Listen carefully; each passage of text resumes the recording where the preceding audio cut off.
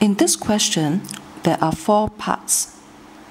The first part says construct the angle bisector of angle PRQ.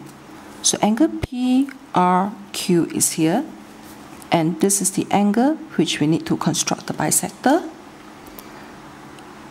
Place the compass at the tip that is R, and we mark two arcs. Then, from the intersection point, we mark another pair of arcs. Now, we can join the tip R to the intersection of the two arcs. And this will be the angle bisector.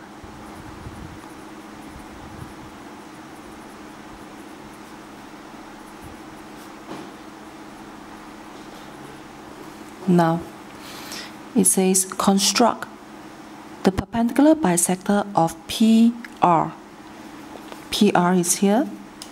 So, to construct a perpendicular bisector, I will be marking two pairs of arcs.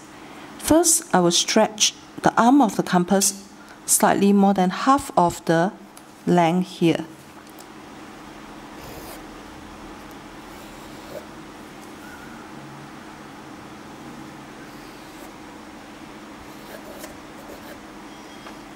And we join the two intersection points together.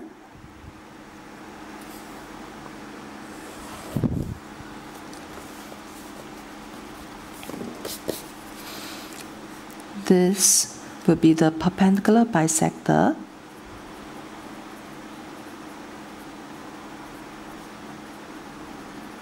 Of PR Now it says mark the letter X, the point where the answers in A and B meet. So this is the point where the two bisectors meet, and this will be X.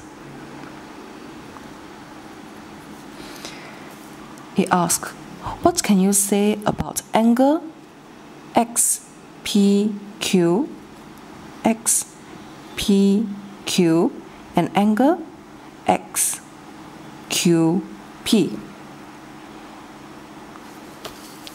Let us join the points together.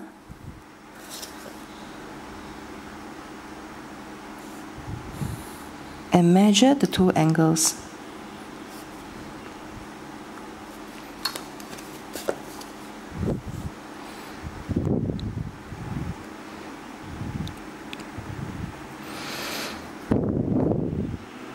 Angle XPQ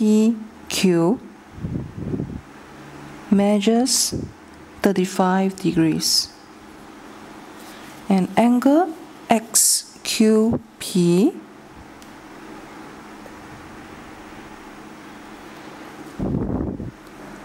also measure 35 degrees.